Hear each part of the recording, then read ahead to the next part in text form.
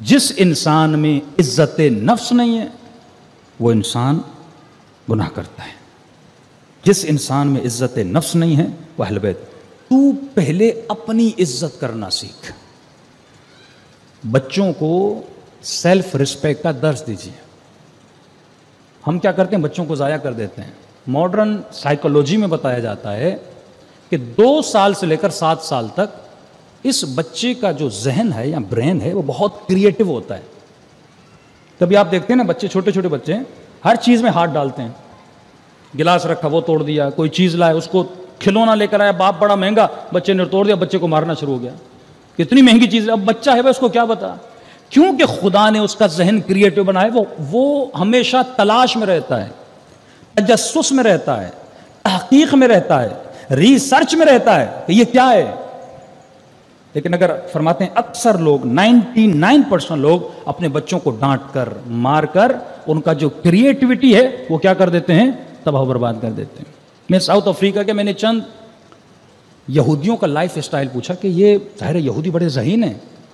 दुनिया में सबसे ज़्यादा पीएचडी होल्डर, आप देखें, सारे यहूदी हैं। दुनिया के बड़े से बड़े बिज़नेस, ऐसे ही तो नहीं संभाले हुए ना, उन्होंने मेहनत की तो वो इतनी अपनी शरीयत की पाबंदी करते हैं कि पूरी एक मजलिस उस पर हो सकती है। मसल उनकी खातन छः महीने के बाद कोई खाना नहीं खाती। क्या करती हैं? ज़्यादातर दूध और खजूर। उनकी शरीयत में कि हज़रत मरियम ने भी खजूर खाई थी। और ये साइंटिफिकली भी साबित है कि जो खातन खजूर खाती हैं, बच्चा ताकतवर भी होता है। और क्या करती हैं? छः महीने के बाद कोई ज़्यादा काम नहीं करती। उनके सामने एक बोर्ड रखा जाता है। उस बोर्ड पर मैथामेटिक के मसले, केमिस्ट्री के मसले, जितने भी इलमी मसाइल हैं, उनको क्या करती हैं? सॉल्व करती हैं। डेली बेसिस पे यही करती हैं। कोई और एक्टिविटी, टीवी देखना, गाने देखना, इधर जाना, उधर जाना, इधर घूमना, उधर घूमना नहीं। ये चार महीने, जब से बच्चा चार महीने के बाद बच्चा बन जाता है, उसमें रूह आ जाती है तो उसके बाद ये जितनी भी अकलानी काम है मैथमेटिकली काम है, अगर वो पढ़ी हुई है तो बुक्स पढ़ती हैं, ऐसे काम करती हैं, अब जब ये बच्चा दुनिया में आता है तो क्या बनता है? होशियार बच्चा बन जाता है। वो तबा तबाही जो चार साल का हाफिज कुरान, उसकी माँ ने यही कहा ना, कहते जब से ये बच्चा मेरी शिकम में आया मैं डेली बेसिस पे कोशिश करती थी, चार जुज, पाँच जुज कुरान की पढ़ती थी। और सबसे पहले बच्चे की समात एक्टिव हो जाती है। मैं घर में यहाँ कुरान खोल के रखती थी। अब जब माँ ने इतना पढ़ा इतना पढ़ा उस शिकम में बच्चे ने सुना सुना। जब ये बच्चा पैदा हुआ तो उसके वालिद कहते हैं, जब इसने बोलना शुरू किया कि हम कहते थे, अल्हम्दुलिल्लाह रब्बिल बच्चा आगे कहता था अर्रहमान रहीम मालिक यौमिद्दीन। हाँ? आप अपने हाथों से अपने बच्चों को बना सकते हैं, लेकिन क्योंकि इल्म मारिफत नफ्स नहीं है, तरबियत का इल्म नहीं है एक के पास पाँच बच्चे, एक नशाई बन गया, एक पता नहीं क्या जुआरी बन गया, एक क्या बन गया, बच्चे तबाह बर्बाद हो गए। जो सबसे बरतरीन नमत परवरदिगार आलम थी, हमने उसको तबाह कर दिया। इस बच्चे की सेल्फ रिस्पेक्ट को साइकोलॉजी में कहते हैं सेल्फ स्टीम उसकी स्ट्रीम को तबाह करके हमने बच्चे को तबाह कर दिया। उसका जितना क्रिएटिव माइंड था, हमने उसे खराब कर दिया। बच्चा अगर नुकसान करे, उसे समझाओ कि मेरे लाल ये बुराई है, ये अच्छाई है, ये इस तरह बनता है, ये इस तरह बिगड़ता है तो आहिस्ता आहिस्ता, अब जब ये सात साल का बनेगा, जिस तरह आपको कोई गाली देता है, आपको बुरा लगता है, लेकिन आप अपना दिफा करते हो। आपके साथ कोई जाति करे, आप डिफेंस की पोजीशन में आ जाते हो। यही कैफियत एक छोटे बच्चे की होती है। जब आप उसको मारते हो, जब आप उसको पीटते हो, जब आप डंडियों से उसको मारते हो तो इस बच्चे को भी गुस्सा आता है। लेकिन बच्चा है, गुस्सा निकाल नहीं पाता। आपको कुछ कह नहीं पाता तो ये गुस्सा अपने अंदर डालता रहता है। लिहाजा बच्चे की जो सेल्फ रिस्पेक्ट वो क्या हो जाती है? तबाह हो जाती है। तभी मौला फरमाते हैं, अक्रिमु औलादकुम। अली के चाहने वालों, अपने बच्चों को इज़्ज़त दो और अपने बच्चों को अदब सिखाओ।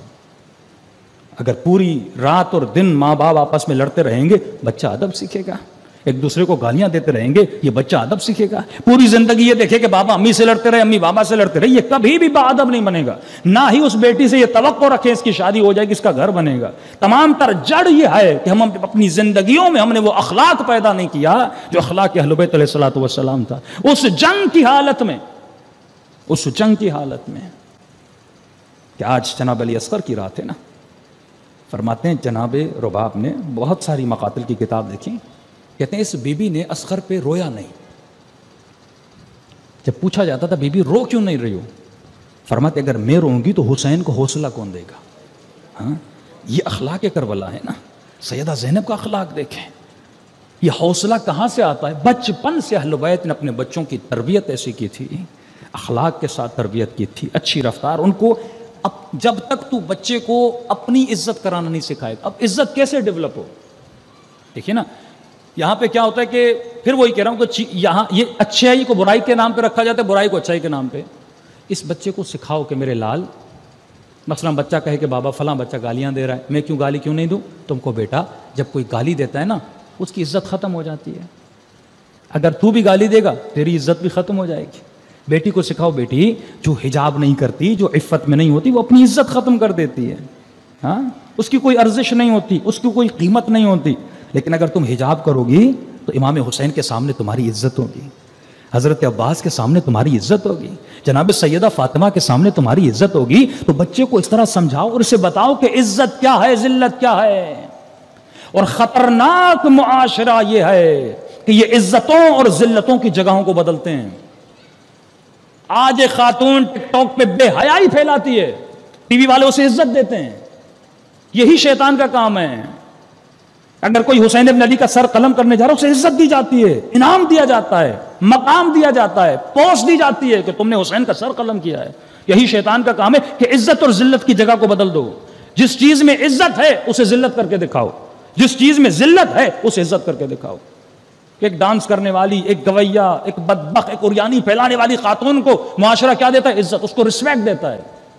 वो खातून जो उरियानी फैलाती है, उसे इनाम दिए जाते हैं, इज़्ज़त दी जाती है। अब ज़ाहिर है, ये बच्चा देख रहा है ना, आपको वो माहौल देना है। इसको सही तालीम आपने देनी है कि बेटा, ये इज़्ज़त नहीं है, ये जिल्लत है। ये दुनिया का धोखा है, ये इज़्ज़त नहीं है। असल इज़्ज़त यह है कि तुम परवरदिगार आलम के सामने अज़ीज़ रहो। असल इज़्ज़त यह है कि जब तुम्हें तुम्हारी कब्र से उठाया जाए तो मलाइक तेरे इस्तकबाल के लिए आए। इबन साद इज़्ज़त के लिए गया था ना और उसने इज़्ज़त किसको समझा? हुकूमत को। उस जमाने में आलात और इसबाब अलग थे। उसने कहा, माल मिलेगा, दौलत मिलेगी। गुलामों का ज़माना था, कनीज़ें खरीदूँगा, इतनी शादियाँ करूँगा, बड़ा घर लूँगा, बड़ा बाग बनाऊँगा। तो वो इन चीज़ों को इज़्ज़त समझ रहा था। तो फरमाए, ये आपकी ड्यूटी है कि बच्चों की सेल्फ रिस्पेक्ट फिर उसे बताएँ कि रिस्पेक्ट किस चीज़ में? रिस्पेक्ट गाली में नहीं है। इज़्ज़त गाली में नहीं है। इज़्ज़त अच्छे किरदार में है। इज़्ज़त अल्लाह की तात में सलवात पड़े मोहम्मद वाले मोहम्मद।